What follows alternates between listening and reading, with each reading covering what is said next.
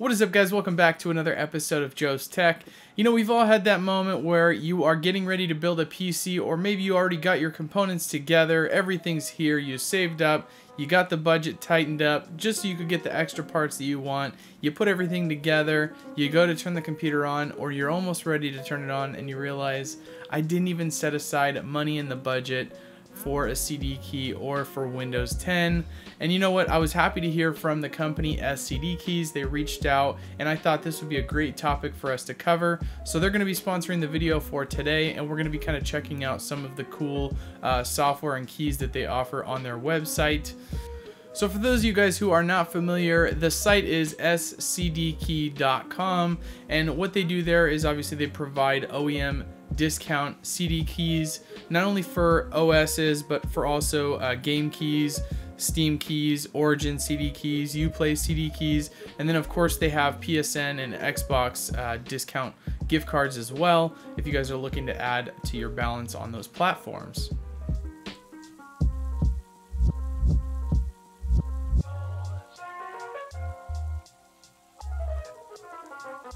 I figured the best way for us to go through this process and check this out would be for me to just go ahead and buy a Windows 10 Pro OEM CD key.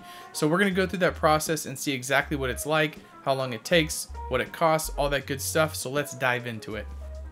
As I mentioned a quick second ago, what we're going to do is follow through the process of purchasing a Windows 10 Pro OEM key from the SCD Key site. So let's go ahead and open up a browser and navigate to the scdkey.com website. Once you've arrived at the website, you're going to want to search in the search bar up top for Microsoft Windows 10 Pro OEM. Select it from the list when it comes up and hit the more details option. Once you're on the product page, you can add it to the cart or do a checkout by clicking buy now. The next screen should take you to the cart. SCD Key has provided me with a 10% discount to share with you guys, so you're welcome to use that and save a little bit of additional money if you guys would like to do that. Finally, once you guys have added that discount code, you can submit your order by using your preferred payment method. Once your checkout is complete, you should get redirected back and you can take a look at the purchases you've made.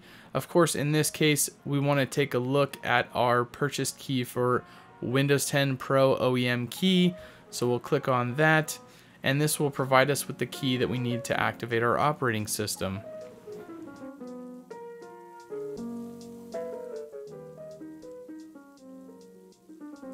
Keep in mind, Microsoft does provide the OS downloads directly from their website, which would allow you to download Windows 10, but would not allow you to activate it until you've purchased a key like we just did here on scdkey.com.